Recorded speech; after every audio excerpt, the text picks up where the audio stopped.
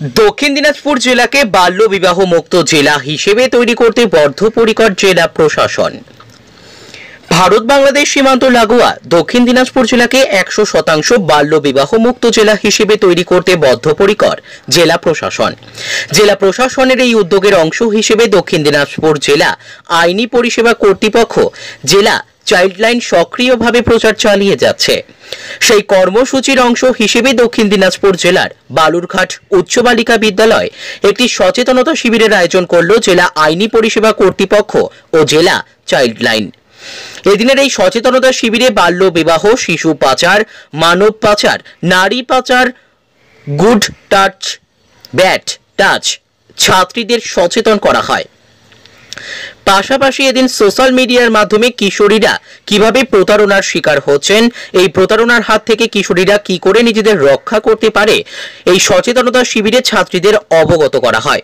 দক্ষিণ দিনাজপুর জেলা আইনি পরিষেবা কর্তৃপক্ষের office, bearer Nikhilesh Karmakar PLV Puja Das Mahanta, Jaya Mondal, Dipa Das, Rakhi Mahanta, জেলা চাইল্ডলাইন কর্তৃপক্ষের সদস্য রীতা মাহাতো, সোমারতী গুপ্তা সহ অন্যান্যরা। ব্যুরো রিপোর্ট, আমাদের টিভি। আজকে বালুরঘাট গার্লস হাই স্কুলে লিগাল লিটারেসি ক্যাম্প অনুষ্ঠিত হলো বিভিন্ন বিষয় নিয়ে। এখানে মেনলি টেন ইলেভেন টুয়েলভ এই মেয়েদের বিভিন্ন আইনি সংক্রান্ত বিষয় নিয়ে সচেতন করা, বাল্যবিবাহ রোধ করার প্রয়াস চাইল্ড ট্রাফিকিং সম্পর্কে সচেতন করা ভিক্টিম কম্পেনসেশন সম্পর্কে অবগত করা এবং শুধু অবগত করাই না আমরা যাতে পরবর্তীতে এই সমস্ত মেয়েদের হেল্প পাই তাদের প্রতিরোধের জন্য যেন তারা নিজেরাই এগিয়ে আসতে পারে সেই সম্পর্কে তাদেরকে এই বিষয়গুলি নিয়ে আলোচনা করা ধন্যবাদ। কলকাতা বুটিক শাড়ির মেলা বিশেষ ছাড় সহ শারদিয়া সেল স্থান STS club Falakata road Dhupguri Jalpaiguri.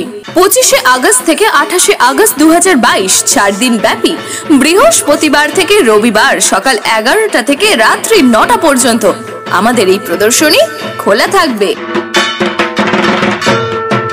Kolkata boutique শাড়ির মেলা, বিশেষ ছাড় সহ শারদিয়া সেল, স্থান STS club, Falakata road, Dhupguri, Jalpaiguri. পঁচিশে আগস্ট থেকে আঠাশে আগস্ট দু চার দিন ব্যাপী বৃহস্পতিবার থেকে রবিবার সকাল এগারোটা থেকে রাত্রি নটা পর্যন্ত। আমাদের এই প্রদর্শনী খোলা থাকবে।